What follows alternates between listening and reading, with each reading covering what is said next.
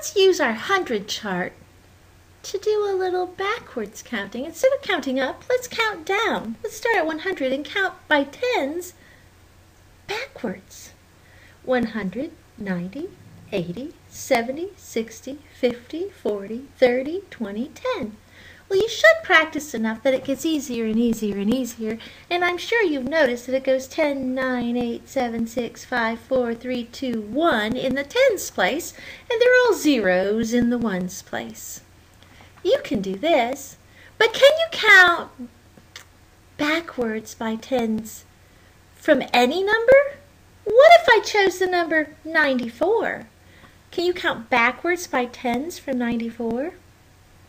84, 74, 64, 54, 44, 34, 24, 14, 4. Did you do it?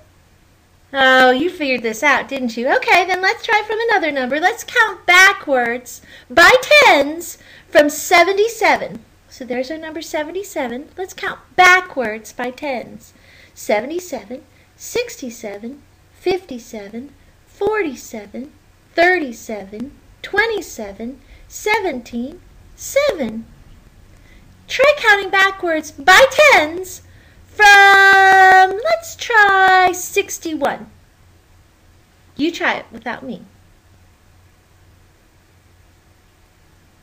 Okay, let me show you how. 61, 51, 41, 31, 21, 11, 1. Did you do it too? Did we match?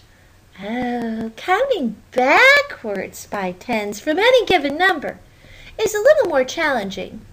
But that hundred